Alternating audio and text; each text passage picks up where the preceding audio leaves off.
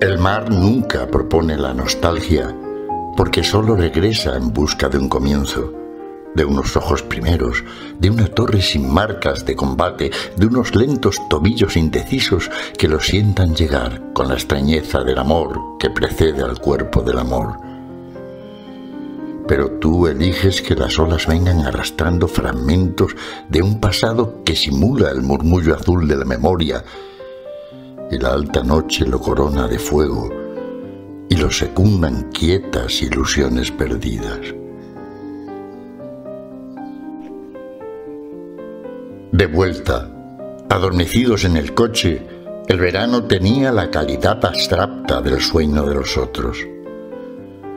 Si las velas contienen los momentos finales del crepúsculo, si un animal inmenso se deshace en las gentes de fuego de las playas, y los rompientes cumplen el amargo papel de signo adverso, todo aquello que huía con nosotros en el orden juicioso y familiar de los veranos, de repente nos desplazó del mundo y en los ojos de extraños se fundó su memoria.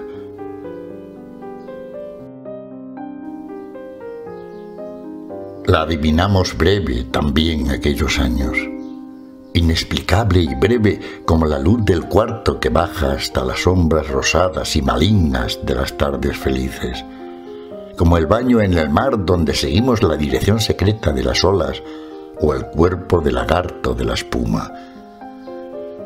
En todo la encontramos y a todo parecida, no dibujó en el curso de los sueños las formas desleales de una ausencia.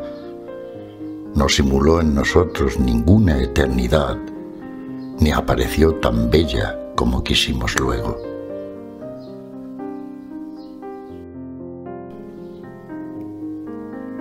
En el pálido azul que acogen las terrazas, los labios desprovistos que saben regresar y el vuelo de las últimas gaviotas.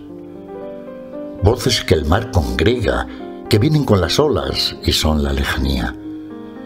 Playas tendidas como alas de nieve al pie de los bañistas y autobuses velados con tenues pasajeros que persiguen la falta de costumbre.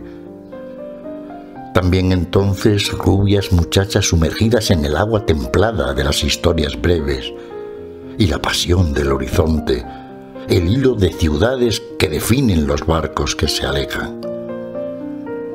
No es más real septiembre que un recuerdo, pero nombres que dimos por perdidos recobran claridad, el aire que atraían y el sueño en que resisten los veranos.